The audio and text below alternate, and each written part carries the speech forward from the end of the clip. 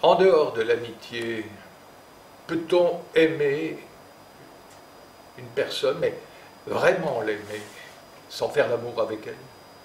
Peut-on faire l'amour sans éprouver de sentiments amoureux? Avant mon opération, je répondais tout de suite non à la première question et oui à la seconde. Toutes ces questions théoriques sont devenues soudain très concrètes pour moi quand un jour, dans les jardins du Luxembourg, sous le soleil d'août d'octobre, une relation vécue comme un poème est arrivée par hasard, au moment où je croyais ne plus pouvoir l'assumer avec une femme.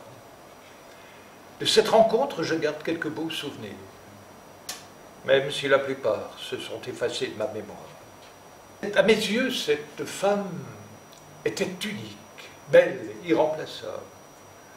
Autant de sentiments, Catherine, qui me ramenait des années en arrière, ici, sur cette plage, sur ce banc, quand nos regards se sont croisés. Entre cette femme et moi, c'était une sorte d'amour les yeux fermés.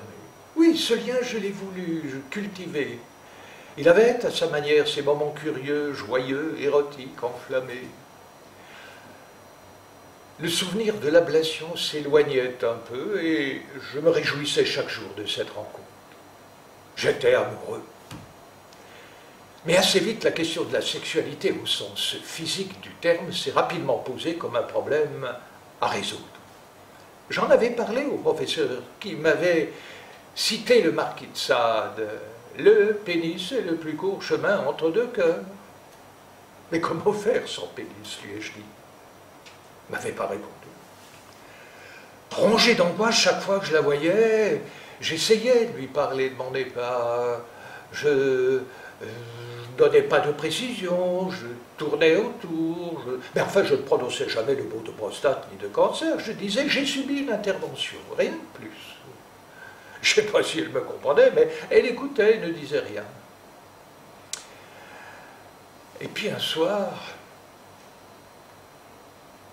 le mot cancer s'est glissé dans une de mes phrases. Surprise, elle m'a fait répéter. Puis elle m'a demandé comment je vivais la maladie. Et deux ou trois semaines plus tard, elle avait disparu.